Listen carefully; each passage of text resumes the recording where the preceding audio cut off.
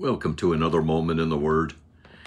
Are you good, but you're still noticing that no matter how hard you try to avoid doing bad things, saying bad things, thinking bad things, trying to be right, that still there's something lacking? Well, that's precisely what's going on in the account that we are reading and meditating on now in Matthew's Gospel. We're in Matthew chapter 19, and we're meditating actually on verses 18 to 20.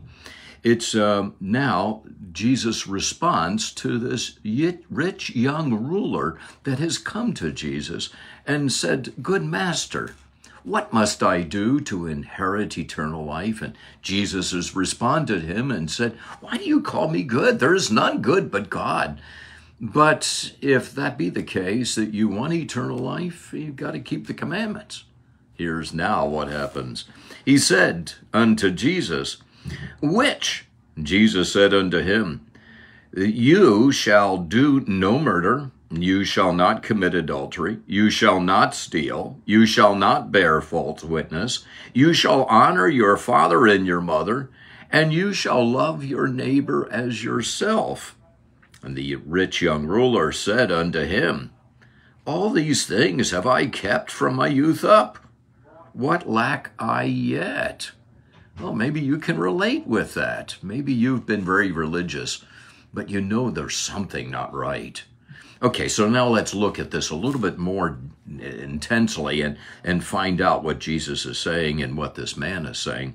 Well, first of all, he's still trying to isolate. He thinks that there is one panacea, there is one commandment, there is the one elixir, one uh, silver bullet that's going to now correct everything. And that he knows that he is a good person. He knows that he's young. He knows that he's wealthy. He's got everything that the world says this is wonderful.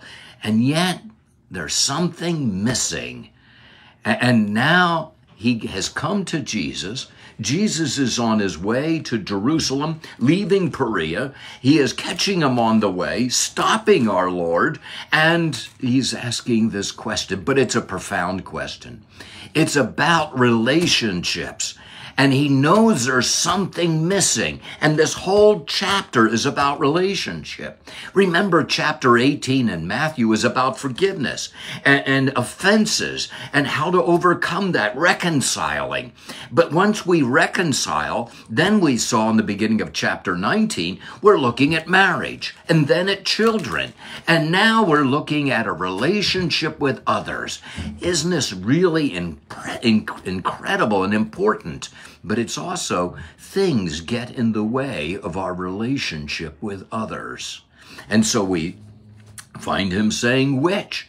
And, and literally it could be which one or or uh, the matter of uh, uh, I trying to identify what is it that I'm lacking.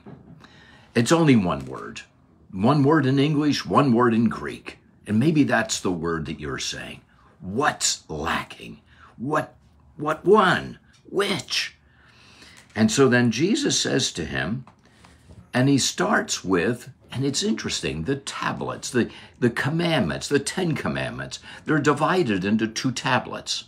There's four commandments in the first tablet that thou shalt love the Lord thy God. There's only one God. You shall have no other gods.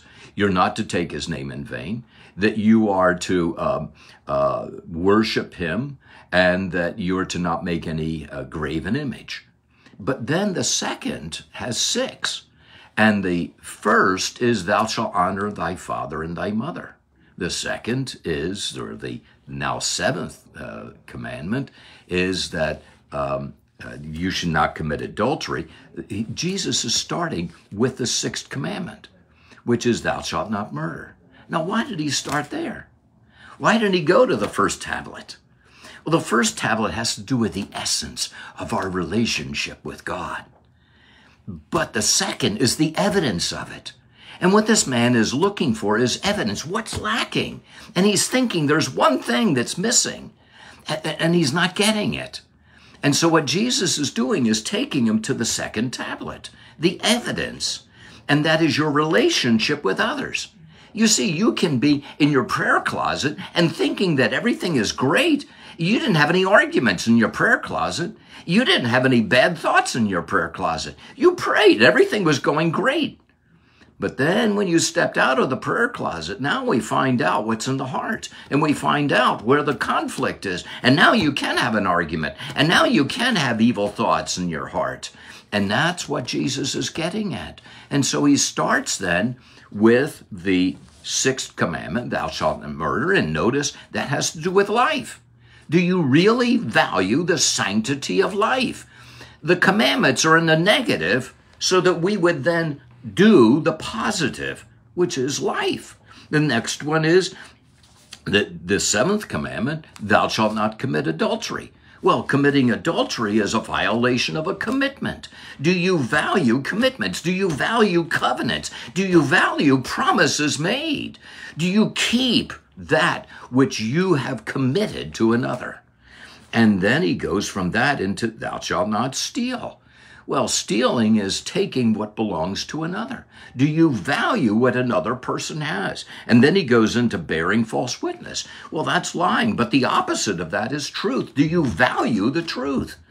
Now, notice how Jesus is getting at this. He's really trying to help this man to look beyond the law and to realize what is really lacking. And that is that he's lacking the essence. He's lacking the first. He's lacking, remember what he said in the very beginning? Good master, and Jesus says there is none good but God. He's missing God. He's standing only three or four feet away from Jesus, and he's looking right into the face of God. And what he's lacking is Jesus. He's not getting the relationship that he is wanting because merely keeping laws, merely being religious, does not make us relational. And you see, God is relational.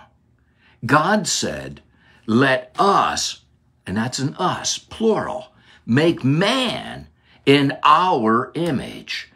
Notice the pronouns are all plural us and our, and male and female made he them. In other words, he made in his image, the image of one in relationship, a man that is in relationship.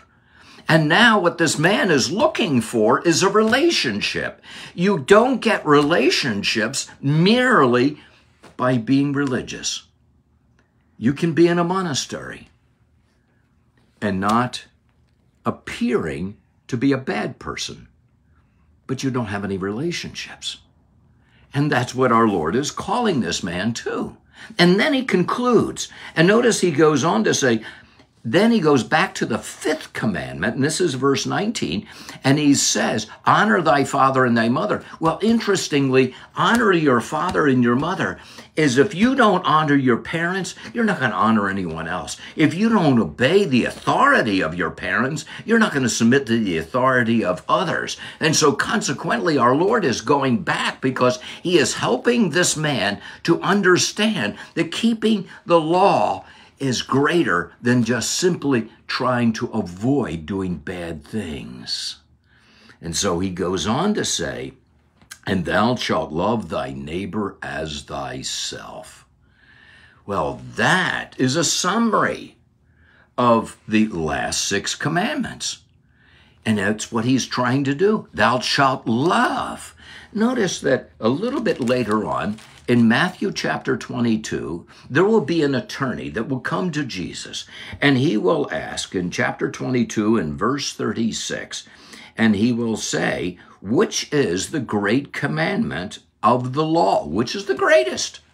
And Jesus is going to quote, and he will quote from Deuteronomy chapter 6, verse 4 and 5, and it is the great Shema. Hear, O Israel, the Lord thy God is one God, and thou shalt love the Lord thy God with all thy heart, with all thy soul, and with all thy might. That's the first tablet.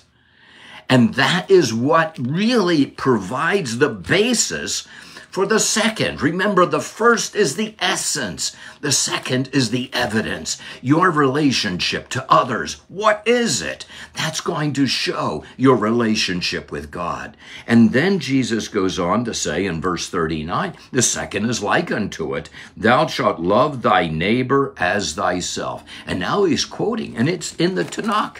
It's chapter 19 of Leviticus, verse 18. And so, consequently, those two to go together. And that's what this man is missing. And I wonder is it something you're missing? Are you trying to be religious? Are you trying to be good, trying to be perfect, trying to be holy? But in all of that, it's a performance. Notice what he said What must I do? And he's not realizing we're not human doings, we're human beings. And it's who we are. And we can only be changed, only transformed by the Holy Spirit and the blood of the Lord Jesus Christ. It is that relationship with Him that provides a right relationship with others. We're going to look tomorrow at what blocks this man from coming to really understand that relationship. And maybe today, as you look at yourself, you can ask yourself, Am I religious? But I don't love. I don't really love God, and I really don't love people.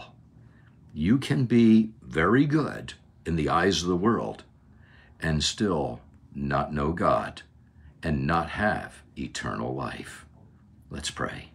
Thank you so much, Father, for your word. Thank you, Father, for this passage, and that we see ourselves in this man who is rich, who is young, and who is good. And yet, Father, in many ways, he was poor. And in many ways, Father, he didn't have life at all, and he was wanting it, and he needed it. Lord, help us. Help us to depend on you. Help us to surrender our will and our lives to you that you might live through us, and that you who are love might, uh, Father, express that love to everyone we meet today. In Jesus' holy name we pray. Amen.